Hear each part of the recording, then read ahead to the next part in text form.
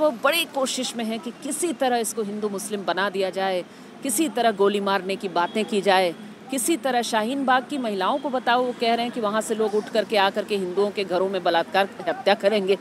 हाँ और ये टुकड़े टुकड़े गैंग और क्या क्या ये सब तो ये न्यूज़ वाले भी यही सब चला रहे हैं। आज रिपब्लिक टीवी ने जामिया के इस लड़के को लेकर के क्या चला है जामिया में जिसने गोली चलाई है उसके बारे में उन्होंने कहा है कि ये जे ये जामिया का प्रदर्शनकारी था, सीए विरोधी प्रदर्शनकारी था।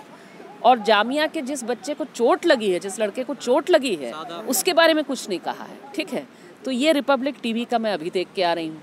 तो ये लोग तो सच को झूठ झूठ को सच कहने की पूरी कोशिश करते हैं।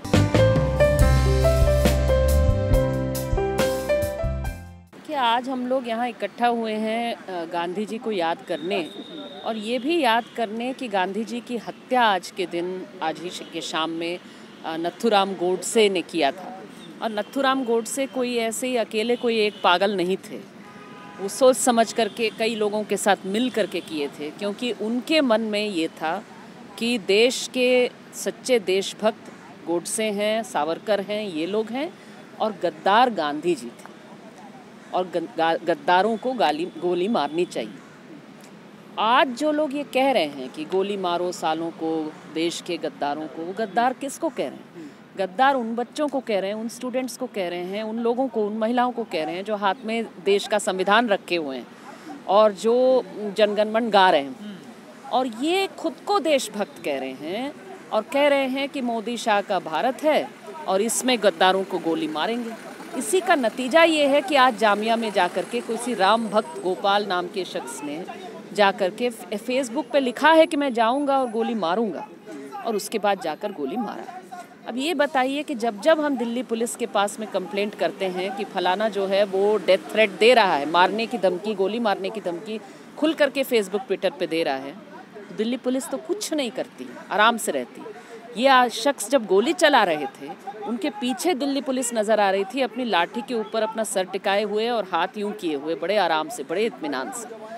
जबकि सोचिए कि जामिया के अंदर जा कर के उन्होंने लाइब्रेरी के अंदर घुस करके लड़के का सर फोड़ा दिल्ली पुलिस ने और गोलियाँ चलाई दिल्ली पुलिस पर जे में जब हमला किया लोगों ने तो उन हमलावरों को भी नहीं पकड़ा दिल्ली पुलिस ने।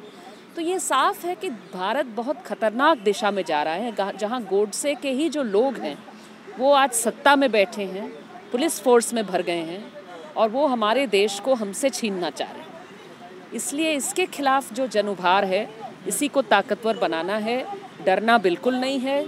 जो गोली चलाते हैं, वो खुद बहुत बड़े डरपोक होते हैं। और इसीलिए हम बिल्कुल बिना भय के अपना सीना तान करके चलेंगे।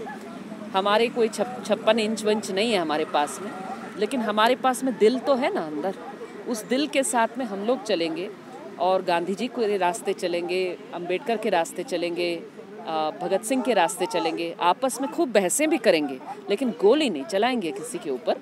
और गोली चलाने वाले जो हैं, वो बड़े डरपोक होते हैं, उनके सामने हम लोग खड़े कभी तो मैम जैसे देखा जा रहा है कि जो बीजेपी के बड़े बड़े नेता जिस प्रकार की बयानबाजी कर रहे हैं कि साइन हाँ, हाँ। और जामिया में देश को तोड़ने की रणनीति बनाई जा रही है और सर्जिल इमाम को लेकर एक बड़ा टारगेट दिल्ली चुनाव में देखा जा रहा है। ये लोग आखिर क्या मतलब इस चुनाव को लेकर इसको ये चुनाव में से बहुत डरे हुए हैं। मेरे ख्याल से भाजपा के जो नेता हैं वो इस तरह से बोल रहे हैं क्योंकि वो समझ नहीं पा रहे हैं कि ऐसे भारत का ऐसी दिल्ली का क्या करें। जहाँ पर लोग हिंदू, मुस्लिम बिना देखे सड़क पर उतर रहे हैं, संविधान के साथ प्यार कर रहे हैं और उसे बचाने सड़क पर उतर रहे हैं। तो इसलिए वो बड़ी कोशिश में है कि किसी तरह इसको हिंदू, मुस्लिम बना दिया जाए, किसी तरह गोली मारने की बातें की जाए, किसी तरह शाहीन बाग की महिलाओं को बताओ, वो कह रहे हैं कि वहाँ से लोग उठ करके आ करके हिंदुओं के घरों में बलात्कार हत्या करेंगे। हाँ और ये टुकड़े टुकड़े गैंग और क्या क्या ये सब तो ये न्यूज़ वाले भी यही सब चला रहे हैं। आज रिपब्लिक टीवी ने जामिया के इस लड़के को लेकर के क्या चला है जामिया में जिसने गोली चलाई है उसके बारे में उन्होंने कहा है कि ये जैन ये जामिया का प्रदर्शनकारी था सीए विरोधी प्रदर्शनकारी था और जामिया के जिस बच्चे को चोट लगी है जिस लड़के को चोट लगी है उसके बारे में कुछ नहीं कहा है ठीक है? तो ये रिपब्लिक टीवी का मैं अभी देख के आ रही हूँ। तो ये लोग तो सच को झूठ झूठ को सच कहने की पूरी कोशिश करते हैं, क्योंकि वो चाह रहे हैं, वो समझते हैं कि जीत, मैंने जहर के बहाने ही उनको कोई ना कोई वोट मिलेगा। बाकी तो और कोई काम किए नहीं है। बाकी तो उन्होंने बेरोज़गारी दिया है। बाकी तो उन्होंने बर्बादी दी है। तो क्या देंगे? यही काम कर सकते हैं। लेकिन इस बार वो सफल नहीं होंगे। लोग एकताबद्ध रहेंगे और इनके खिलाफ ज़रूर जम करके बोलेंगे और बिल्कुल शांतिपूर्ण तरीके से लड़ेंगे आज जिस तरह से यहाँ पर जो है ह्यूमन चेन जो आ रही थी सुना है कि उसको रोक दिया गया है? मैंने नहीं सुना है। एक्चुअली ये ह्यूमन चेन कई जगह लोग बना रहे हैं और एक साथ वो जुड़ेगा जा करके तो कई जगह बनना शुरू हो गया है। हम लोग यहाँ पहुँचे हुए हैं ताकि यहाँ से भी एक तैयारी हो। तो अभी रोका है ऐसा मैंने अभी तक नहीं सुना मैं नहीं जानती हूँ। लेकिन अगर रोका है तो मैं तो यही पूछूँगी भाई दिल्ली पुलिस जो है वो अगर गांधी जी को याद करने वालों को रोक रही है और गोडसे का काम करने वाले लोगों को नहीं रोक रही है वहाँ हाथ पे हाथ डाल करके खड़ी है और देख रही है बड़े आराम से कि अरे गोली चला रहा है कहीं उसका नाम अनुराग तो नहीं है हाँ, अनुराग ठाकुर तो नहीं है कहीं उसका नाम प्रवेश वर्मा तो नहीं है यही सब देख रही दिल्ली पुलिस की भाई तो सरकार का ही आदमी होगा अमित शाह का आदमी होगा। हम भी तो अमित शाह के पुलिस हैं हम कैसे गोली चलाने वालों को रोकें? तो ये सोचने वाली बातें हैं और मेरे ख्याल से इस जहर के खिलाफ इस हत्या हिंसा के खिलाफ में दिल्ली के लोग भी ज़रूर वोट देंगे लेकिन बात सिर्फ़ उतना नहीं पूरे देश के लोग अपने दिल से आ, इस पूरे हमारे देश को ऐसे लोगों से बचाने के लिए आगे आ रहे हैं उनकी जीत ज़रूर होगी। मीडिया को लेकर के एक सवाल इम्पोर्टेंट बन जाता है। जिस तरह से दीपक चौरसिया और सुधीर चौधरी अपनी डिबेट में कह रहे हैं कि क्या वो जो है, वहाँ 370 लग गई है, हम लोग जा नहीं सकते वहाँ पर। और किस तरह की विचारधारा के साथ वहाँ पर काम कर रहे हैं और वो लोग हमसे बात नहीं कर रहे हैं? नहीं, मामला ये है कि आपसे बात तो हम लोग बहुत दिनों से नहीं कर रहे हैं। इसलिए क्योंकि आप आप बातचीत करना कहाँ चाहते हैं? आप तो झूठ बोलना चाहते हैं गाली देना चाहते हैं हमारी बात को मोड़ करके जैसे अभी वे गोली हम पर चले और आप कहेंगे हमने गोली चलाई ठीक है? गाली हम पर चले आप हम कहेंगे हाँ, आपने आप कहेंगे हमने गाली दी ठीक है?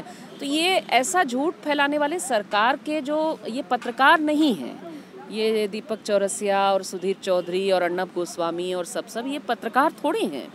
ये तो सरकार के दरबारी सेवक हैं। दरबारी प्रचारक हैं।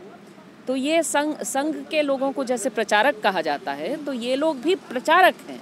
ये टीवी चैनलों वाले प्रचारक हैं आरएसएस के प्रचारक हैं। इनके साथ भाई इन, इन जब ये इन इनसे तो शाहीन बाग की महिलाओं को खतरा है ना तब भी उन्होंने तो ये नहीं कहा कि हम लोग आप पर कुछ भी करेंगे या हाथ उठाएँगे कुछ नहीं। उन्होंने कहा कि ठीक है आइए हम लोग राष्ट्रगान गाएँगे। राष्ट्रगान गाने वाली महिलाओं से इतना डर क्यों गए दीपक चौरसिया और सुधीर चौधरी? आ जाते। काहे रुक गए? गाना जनगण मन ही तो गा रहे थे। और बा, बाकी देखिए ये आ, आ सकते थे ये मोदी जी को कहते ना मोदी जी के साथ आते उनको तो दादियाँ उन्हें बुलाया है शाहीन बाग की कि आइए ना चाय पर चर्चा करिए। आइए।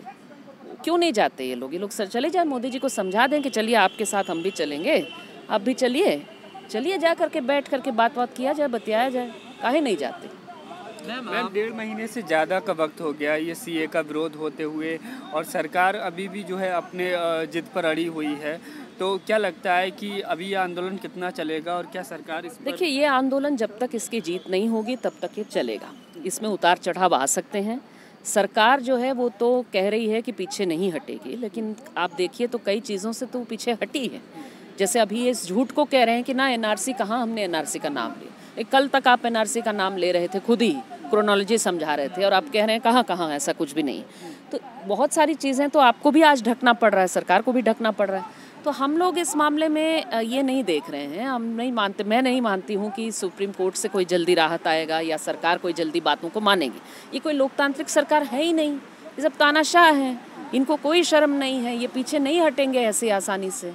लेकिन हमको लगता है कि अगर हम पीछे नहीं हटेंगे तो ये हमारा करेंगे क्या? और हम तो नहीं पीछे हटने वाले। आपके जब आपके पास जगह कितनी है जेल में देख लेते हैं। कितनी गोलियाँ हैं कितने आपके पास गोलियाँ चलाने वाले इस तरह के राम राम भक्त गोपाल और क्या क्या हैं। दिखा दीजिए उतार दीजिए ना सबको। कोई बात नहीं हम तैयार हैं उसके लिए। हम हाथ नहीं उठाएँगे लेकिन हम पीछे नहीं हटेंगे। मैम आखिरी सवाल आपसे कि आपने काफ़ी आंदोलन देखा हमने आपको देखा है वहाँ पर। अभी ग्लोबल डेमोक्रेसी इंडेक्स आया है। हाँ। उसमें दस पायदान और पीछे फिसल गया है भारत। तो का वा, वाकई में डेमोक्रेसी भारत में खतरे में आपको नज़र आती है? मैं पहले भी ऐसा होता रहा है? नहीं मैं मानती हूँ कि भारत में पहले की कभी की तुलना में मेरी जीवन में मैं तो 73 में मेरा जन्म हुआ है। उसके बाद में इमरजेंसी हुआ मैं बहुत छोटी थी मुझे याद तो नहीं है। लेकिन मैं मानती हूँ हाँ इमरजेंसी के समय ज़रूर एक खतरा था। लेकिन मैं मानती हूँ कि अभी जो खतरा है लोकतंत्र को वो इमरजेंसी के बराबर तो है ही है उससे भी ज़्यादा भयानक है। क्यों? क्योंकि इस बार कई लोगों को पहचान में नहीं आ रहा है कि हाँ खतरा है। इमरजेंसी में तो खुल के था। हाँ। सरकार ने कहा कि हम लोकतंत्र बंद कर रहे हैं। अभी लेकिन ये घोषणा नहीं है।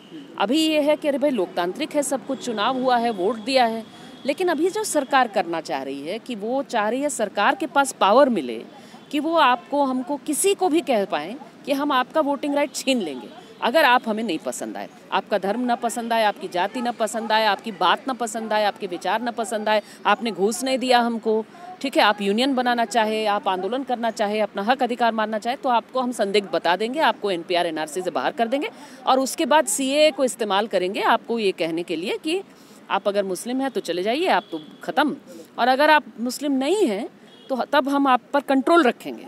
हम आपको पूरा दबा के रखेंगे कि अगर आपको चाहिए कि हम नागरिकता आपको दें तो आपको हमारी बात माननी पड़ेगी, हमें वोट देनी होगी, हमसे कोई सवाल ने मत करिए।